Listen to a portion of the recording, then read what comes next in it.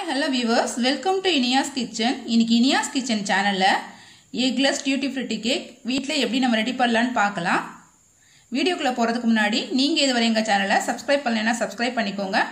பக்கத்தில் உள்ள பெல் ஐக்கானே கிளிக் பண்ணிக்கோங்க. வாங்க வீடியோக்குள்ளே போகலாம் இன்றைக்கி வந்து கேக் வந்து நம்ம கடாயில் தான் செய்ய போகிறோம் அதனால கடாயில் சால்ட் உப்பு வந்து கொஞ்சமாக சேர்த்துருக்கேன். அதில் ஒரு ஸ்டாண்டு வச்சுருக்கேன் கேக் செய்கிறதுக்காக இந்த ஸ்டாண்டு உங்கள்கிட்ட இல்லைன்னா பரவாயில்ல. ஒரு சின்ன தட்டு கூட நீங்கள் அதில் போட்டு வச்சுக்கலாம். கேக் பேட்டர் ரெடி பண்ணுறதுக்கு முன்னாடி நம்ம இதை ஃப்ரீ ஹீட் பண்ணிக்கலாம். ஒரு பத்து நிமிஷம் மட்டும் ஃப்ரீ ஹீட் வந்து பண்ணிக்கோங்க. அடுப்பை வந்து சிம்லேயே வச்சுக்கோங்க. இந்த மாதிரி ஒரு லெட்டு போட்டு க்ளோஸ் பண்ணி வச்சுக்கோங்க. இப்போ நம்ம கேக் பேட்டர் வந்து ரெடி பண்ணலாம். ஒரு சின்ன பவுல் எடுத்துக்கோங்க. அதில் நாலு ஸ்பூன் அளவுக்கு டியூட்டி ஃப்ரூட் வந்து சேர்த்துக்கோங்க.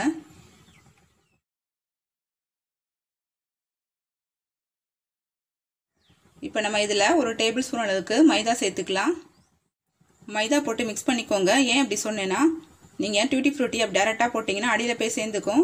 அதனால மைதா போட்டு மிக்ஸ் பண்ணிவிட்டு அதுக்கப்புறம் சேர்ந்திங்கன்னா ஒன்றா சேராமல் அங்கங்கே தனித்தனியாக இருக்கும். கேக் பேட்டர் ரெடி பண்ணுறதுக்கு இந்த மாதிரி ஒரு பெரிய மிக்சிங் பவுல் வந்து எடுத்துக்கோங்க. நம்ம எல்லாத்தையும் சளிச்சு சேர்த்துக்கலாம். அப்போ தான் என்னோட கேக் வந்து பார்த்திங்கன்னா நல்லா சாஃப்டாக வரும்.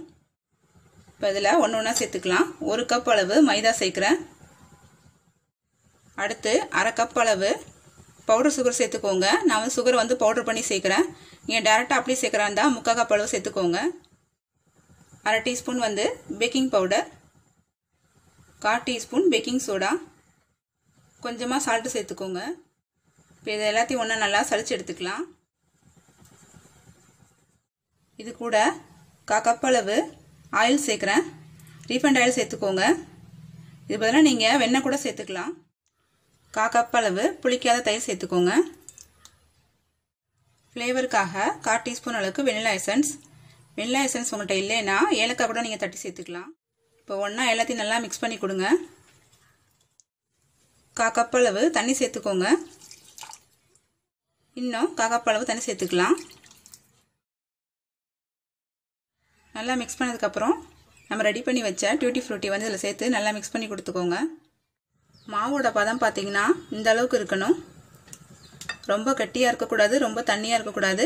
பாருங்கள் இந்த பதத்தில் வந்து நல்லா மிக்ஸ் பண்ணி எடுத்துக்கோங்க. தண்ணியை வந்து பார்த்தே சேர்த்து மிக்ஸ் பண்ணிக்கோங்க. மொத்தமாக ஊற்றிடாதீங்க இந்த மாதிரி கேக் செய்கிற டீன் உங்கள்கிட்ட இருந்து எடுத்துக்கோங்க. அப்படி இல்லைன்னா வீட்டில் உள்ள டிஃபன் பாக்ஸ் கூட எடுத்துக்கோங்க. இப்போ நம்ம ரெடி பண்ணி வச்ச கேக் பேட்டர் இதில் நம்ம சேர்த்துக்கலாம்.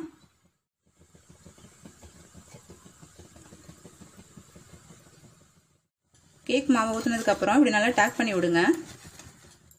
நான் கேக் டெனில் பார்த்தீங்கன்னா ஒரு ஆயில் அப்ளை பண்ணி பட்டர் ஷீட் வந்து போட்டிருந்தேன்.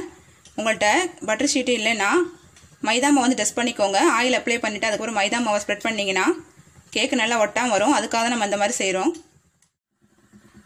வைக்கும் போது பார்த்து வைங்க ஜாக்கிரதையா. இது நல்லா பேக் ஆகட்டும். ஒரு நாற்பது நிமிஷம் வரையும் பேக் ஆகட்டும். அடுப்பை வந்து சிம்லே வச்சுக்கோங்க. கேக் வச்சு ஒரு ஐம்பது நிமிஷம் ஆகுது. இப்போ கேக் வந்துருச்சான்னு பார்க்கலாம். ஒரு டூ ஸ்டிக் இல்லைனா இந்த மாதிரி ஸ்டிக் வந்து எடுத்துக்கோங்க. இதில் இன்சர்ட் பண்ணி பார்த்தீங்கன்னா ஒட்டக்கூடாது. இந்த பாருங்கள் எதுவுமே ஒட்டல. கேக் நல்லா வந்துருச்சு.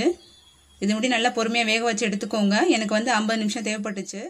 இப்போ இது நல்லா ஆறட்டும். ஆறினதுக்கப்புறம் நம்ம கேக் டீன்லேருந்து கேக் எடுத்துக்கலாம். நீங்கள் வந்து சூடாக இருக்கும் போதே எடுத்துடாதீங்க. கேக் வந்து உந்துடும் அதனால ஆறினதுக்கப்புறம் எடுத்துக்கோங்க. கேக் நல்லா ஆறிடுச்சு.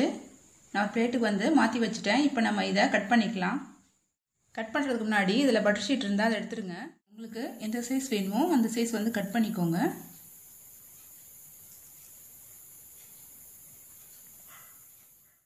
நம்மளோட கேக் பாருங்கள் எவ்வளோ சாஃப்டாக இருக்குன்னு. எக்லெஸ் டியூட்டி ஃப்ரூட்டி கேக் சூப்பராக ரெடி ஆயிடுச்சு நல்லா சாஃப்டாக இருக்குது நீ கண்டிப்பாக ட்ரை பண்ணி பாருங்கள் செஞ்சு பார்த்துட்டு உங்களுக்கு கமெண்ட்ஸை வந்து ஷேர் பண்ணுங்கள் இனியாஸ் கிச்சனை சப்ஸ்கிரைப் பண்ணுங்கள் நன்றி வணக்கம்.